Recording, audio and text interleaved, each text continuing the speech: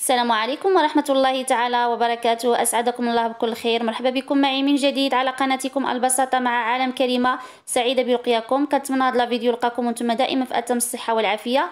لا فيديو ديال اليوم إن شاء الله غادي نحضر معكم فطائر الخلاط فطائر اللي سريعة بدون عجن وكذلك بدون أي مجهود وبحشوه كذلك اقتصادية ولذيذة في نفس الوقت. نتمنى الفيديو ديال اليوم يعجبكم.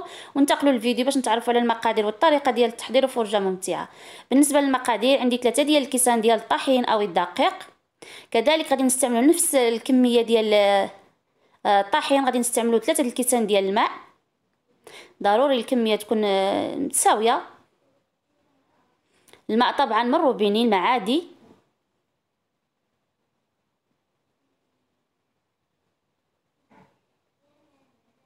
يمكن لكم هذا الخليط توضعوه في في الخلاط ولا تطربوه بالميكسور. ضفت هنايا معلقة ديال الزيت عادية. وكذلك نصف معلقه ديال الملح. غادي نستعمل هنايا الميكسور غادي نخلط آه، جيدا الخليط ديالي.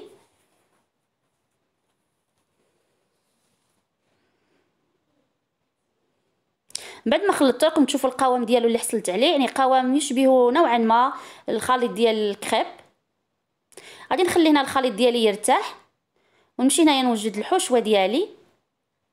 بالنسبة للحشوه يبقى لكم دائما الاختيار يعني أي حشوه كتحبوا أي أي حاجة كتفضلوها ديروها.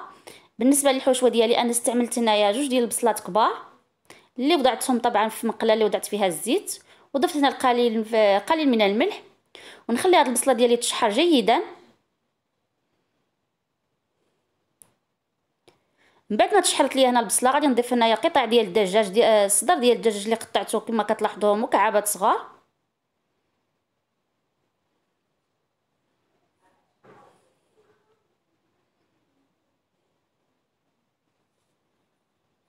ونضيف كذلك القليل من البزار.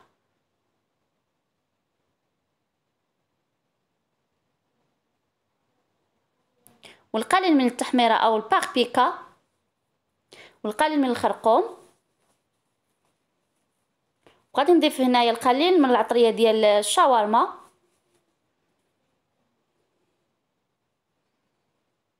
غادي نخلط جيدا هاد العناصر.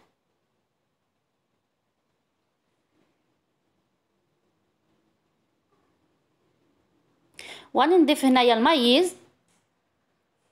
كتبقى اختيارية ولكن حتى هي كتجي صراحة كتجي رائعة في هذه الحشوه هذه ديال تاكوس غادي نضيف هنا الياغورت الطبيعي.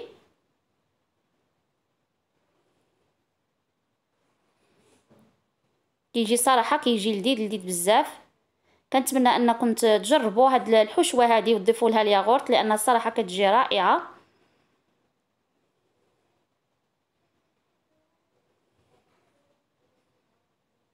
وغادي نخليو هاد العناصر يتشربوا مزيان.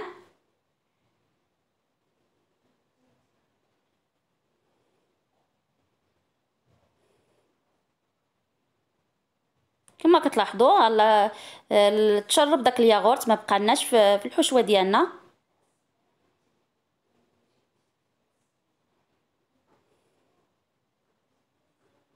ونمشي هنايا نطيب الكريب ديالي. انايا جبت هنا مقله اللي درتها تسخن قليلا وضفت هنايا القليل من الخليط. تحذف ليا تحذف ليا المقطع. فاش ضفت الخليط؟ ضفت القليل من الخليط يعني طريقة اللي عادية وسهلة يعني. وغادي نحاول أنني كي نلاحظ أن الخليط ديالي بدا كينشف نقلبو للجهة الأخرى. ونستمر هنا في التقلاب.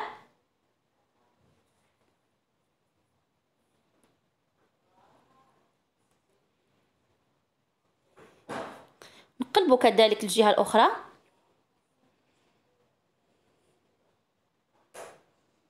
نستمر في التقلاب. حتى أن ال... لاحظوا أنه انتفخ وما نطيبوش مزيان لأن صراحة باقي غنزيدو نطيبوه. نقلبوه ربع عدة مرات. أنا قلبته هنا شي خمسة المرات المهم نبقاو غير نقلبوه يعني حتى نحصلوا على النتيجة يعني تفخنا الكريب ديالنا.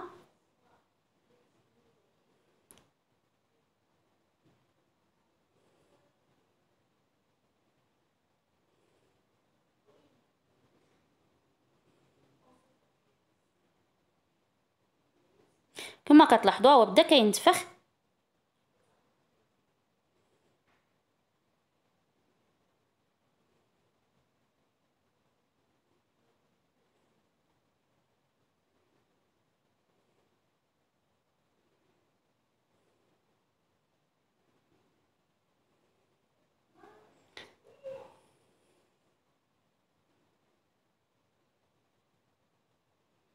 يعني شحال ما نتفخ الخليط ديالنا كيجي كيجي الفطائر ديالنا كيجيو خفاف. من بعد ما طيبت الكمية ديالي كاملة بنفس الكيفية كما لاحظتوا معايا. بالنسبة للحشوة ديالي ها هي وكذلك لاصوص استعملت هنا المايونيز واستعملت كذلك ديك لاصوص هذيك واستعملت الفرماج آه، مثلثات بالنسبة للطريقة كندهن القليل من المايونيز. بالنسبة لاصوص كيبقى لكم الاختيار. ونضيف القليل من الحشوة.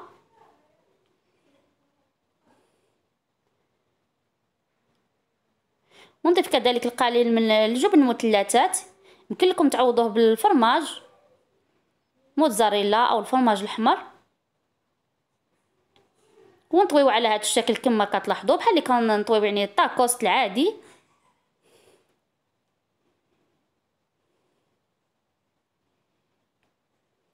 ونخليهم على جنب ونستمر بنفس الكيفية حتى نسالي الفطائر ديالي كاملين. بنفس الطريقة كذلك.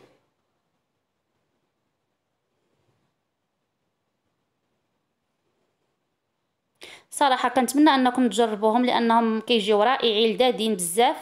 يمكن تستعملوهم يعني للعشاء. ترافقوهم مع الفريت أو سلطة. بعد ما كملت الكمية ديالي غادي نمشي أنا نطيبهم. بعد ما دهنت المقلة ديالي بالقليل من الزيت باش ياخذوا داك اللون الذهبي كما كتلاحظوا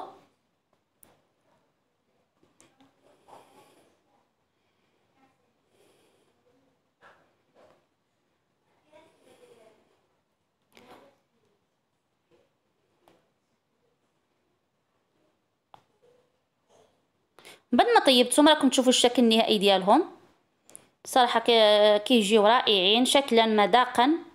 وكما تابعتوا معايا في الفيديو طريقة اللي سهلة. يعني بدون أي مجهود وبدون أي تعب وفي وقت وجيز يعني.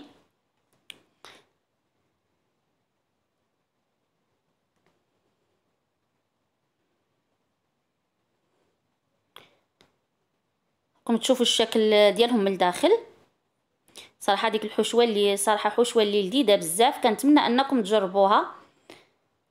الفيديو ديال اليوم انتهى. كنتمنى أنه يعجبكم. ولا عجبكم الفيديو كالعاده ما تنساوش الاشتراك في القناة وكذلك البارطاج مع الأهل والأصدقاء. كي تعم الفائدة. وكنتمنى أنكم توصلوا الفيديو لأكبر عدد من اللايكات. وإلى اللقاء مع فيديو آخر إن شاء الله. ودمتم في رعاية الله.